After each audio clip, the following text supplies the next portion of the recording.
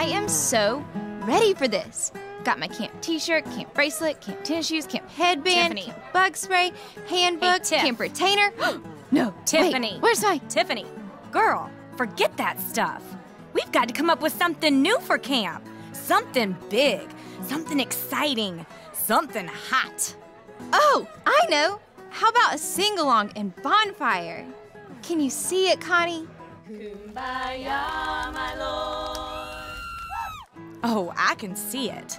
But how about this? Flag football. Teach kids how to be winners for Christ. Awesome. So, where do we get the giant hands? Hey, girls. Hey, Paul. What's up, Paul? He's so cool. Mm-hmm. And deep. Any ideas for camp? Working on it.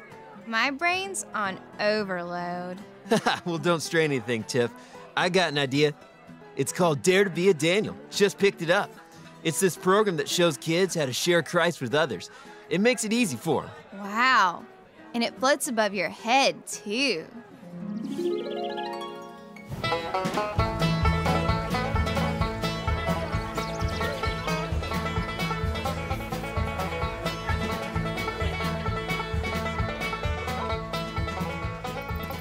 So that's it, dudes. D2BD showed you how to talk with your friends about Jesus. D2BD? is that some kind of a Star Wars robot? Nah, no, it's Dare to Be a Daniel. The old guy just thinks he's cool. So, how do you, you know, start to talk to others about God? I mean, like, wow, that's a neat outfit, Ginny. By the way, do you know who your savior is? Don't worry about it, Kim. That's what Dare to Be a Daniel does. It talks about situations like that. Just like, try to keep it real. What? Keep what real? You know, it. Like, it's cool keeping it real. It. Tiff, we need to get you some help.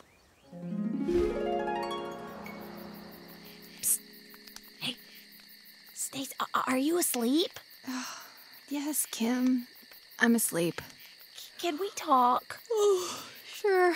What is it? I've never told anybody this, but I am terrified to talk to others about God. Do you think that's wrong? Kim. Remember that counselor today who kept calling us dudes? Well, those Dare to Be a Daniel books he gave out are pretty cool. It really shows you how there's all these different awesome ways to open doors to talk to others about Jesus. Serving at school, in your community, even at home. Thanks, Stace. Sure. Now, go back to bed or I'll never talk to you again. Okay, so my favorite part of Dare to Be a Daniel is how to unlearn the lingo of Christians. Has this ever happened to you? You look at your friend and say, Hey, Timmy, let me witness to you so you can confess and repent of all your transgressions. Ooh, I'm, I'm gonna tell my dad what you just said. Well, dudes, Dare to Be a Daniel shows you a better way to talk to your friends about God. Now let's break into groups so we can talk more about it.